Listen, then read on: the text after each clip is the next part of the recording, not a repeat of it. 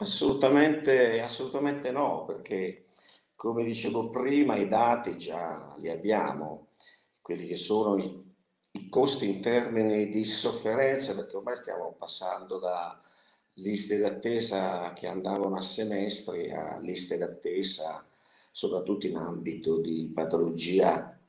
ortopedica non elettiva, si rischia di arrivare all'anno, intervento sulla colonna vertebrale, la protesi del ginocchio, la protesi dell'anca, sono tutte eh, sofferenze sia dal punto di vista della limitazione funzionale, sia proprio della sofferenza fisica per i dolori che comportano, ma al di là di questo, come si sottolineava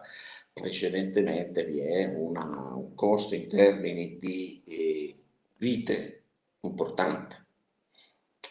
Pensi soltanto alla patologia cardiovascolare, cosa significa un 10% in più di mortalità annuale, cosa stiamo parlando di patologie che hanno un'incidenza di circa eh, 100.000 casi ogni anno. Eh. Per quanto riguarda l'infarto miocardico acuto, forse siamo a 110.000, per quanto riguarda l'ictus siamo a, intorno a 100.000, per cui un incremento di mortalità di 10% significa, in un anno significa 20.000, 30.000 morti in più. Avviciniamo la mortalità globale che abbiamo attualmente per il, il Covid-19, senza contare ovviamente eh, tutte le conseguenze dal punto di vista delle patologie neoplastiche. I costi quindi sono elevatissimi, elevatissimi, eh, le ricadute anche sul sistema produttivo sono importantissime. Una popolazione in salute è fondamentale per avere, ovviamente, per mantenere eh, la, la, il prodotto interno lordo, avere lavoratori appunto che hanno la capacità di sostenere l'incremento di produzione necessario. Eh, abbiamo bisogno quindi di interventi rapidi su questo, su questo settore, non possiamo aspettare, io trovo come dire, scandalosa, diciamola così, tutta questa riottosità che gira intorno al MES cioè al finanziamento pronte, prontamente disponibile di 37 miliardi,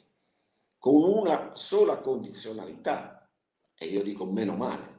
che c'è questa condizionalità, che è quella di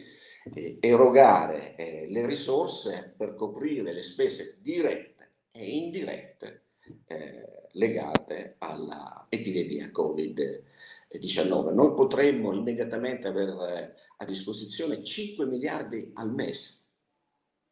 non il miliardo in più, i 500, mila, i 500 milioni in più che sono stati finanziati per esempio per quanto riguarda ehm, l'aumento di produttività necessaria per recuperare le stesse, assolutamente insufficiente rispetto ai numeri che conosciamo perché dovremmo semmai raddoppiarlo se non triplicarlo. Abbiamo il finanziamento a disposizione, non bisogna aspettare i tempi del, eh, del recovery fund, potremmo averli già da settembre e continuiamo a dire no per un pregiudizio ideologico. Io lo, lo trovo scandaloso una cosa del genere. Io penso che lo stigma eh, sarà, non sarà per aver eh, richiesto eh, nel caso appunto di mancata richiesta, lo stigma cadrà addosso a coloro che si continuano a rifiutarsi eh, di, di, accedere a un finanziamento, a un finanziamento del genere. Eh, 5 miliardi al mese sono una cifra assolutamente eh, fino al massimo di 36 miliardi, è quello che ci serve anche per evitare, evitare una seconda ondata, perché mentre prima ah, eh, lo avevamo già segnalato il 24 febbraio, pensi un po', il limite era della eh, terapia intensiva e della disponibilità dei posti letti in terapia intensiva, visto e considerato che dire, la fase territoriale era totalmente saltata. Per evitare la seconda ondata ora abbiamo bisogno di una fase territoriale, cioè la diagnostica, il, i tamponi, con tutto ciò che ne consegue, la capacità di tracciamento e la capacità di trattare a, domicilio eh, gli eventuali eh, pazienti che ne, avessero, che ne avessero bisogno è, come dire, il limite che eh, ci permetterà di mantenere una fase ospedaliera eh, libera da, da, da, da, sovraccarichi. Perché questo, cioè una fase ospedaliera, diciamo, eh, non impegnata, così come era impegnata a marzo o a febbraio fino a maggio, è fondamentale, fondamentale, va bene, per avere, per avere la possibilità di affrontare in sicurezza l'ordinarietà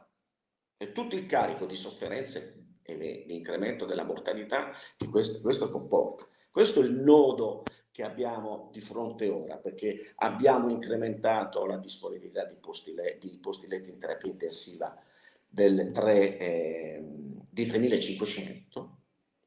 abbiamo 4.200 posti letti in subintensiva, di cui il 50% con gli, eh, gli, opportuni investimenti può essere rapidamente trasformato in un eh, posto letto di terapia intensiva perché è dotato di eh, ventilatori. Ecco, questa fase ospedaliera però ovviamente rischia, anche, eh, rischia di non essere sufficiente se la fase, se la fase eh, territoriale non ha le strutture, gli uomini, eh, le dotazioni di, di, di, tec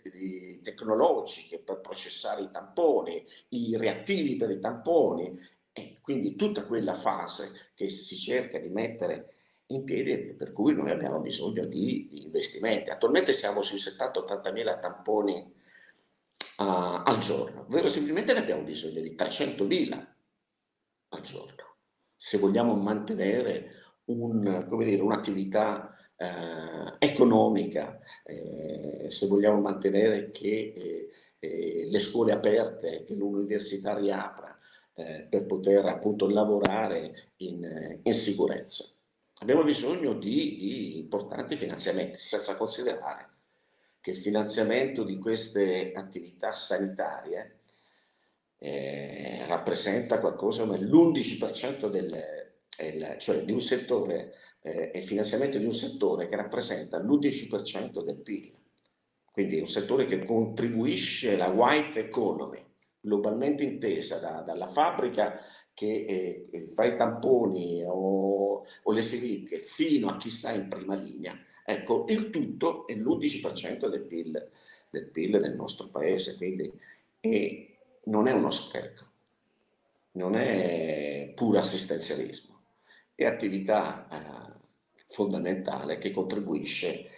alla ricchezza e alla salute del nostro, del nostro paese.